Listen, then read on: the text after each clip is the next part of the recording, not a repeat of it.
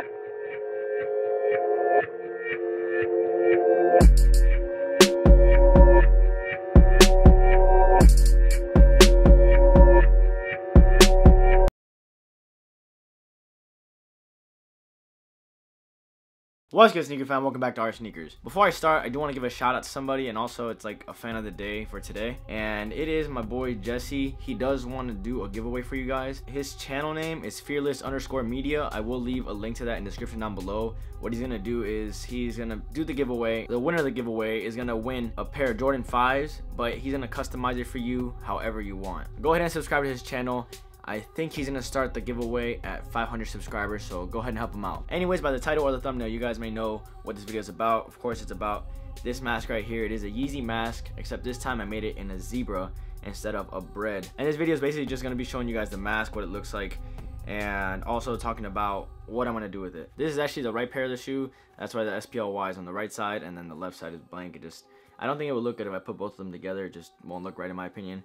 And honestly, people are saying that they like this one a lot more than the other two because it does have more going on with it. And on top of that, it's a zebra, and of course, the zebra is more hype. I did put the laces to the holes that were left, and then I did make a hole right here so I can put the laces through there as well so it can hold up nice to your face and not just hang. And then I did buy these clips at the end so instead of having to tie them, you can just adjust it with this and it's easier instead of having to like pull it on your head, tie it, and then make a knot or a bow, whatever you decide to do with it. And then the tip is tied up like that so it doesn't fall off. And while this mask is being raffled off for five tickets each, this one will be auctioned off. If you want to join the raffle for this one, you can go ahead and find the link to that down in the description below. The link does lead you to my website where you can purchase the tickets. And if you want to go ahead and bid on this mask right here, I will leave a link to the description on eBay and bidding will start at a dollar. Whoever is the highest by seven days from today, so that would be next Thursday, gets the mask. If you guys were wondering what it looks like on the face, it looks just like this.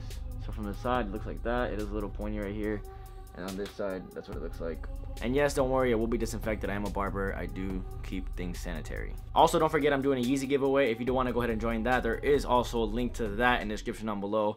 You got to just fill out all your entries and you get an entry for everything that you do. If you did enjoy the video make sure to give it a thumbs up. Also don't forget to subscribe. We are trying to get to 50,000 subscribers so i can choose the yeezy giveaway winner. Make sure you stay woke. Our signing out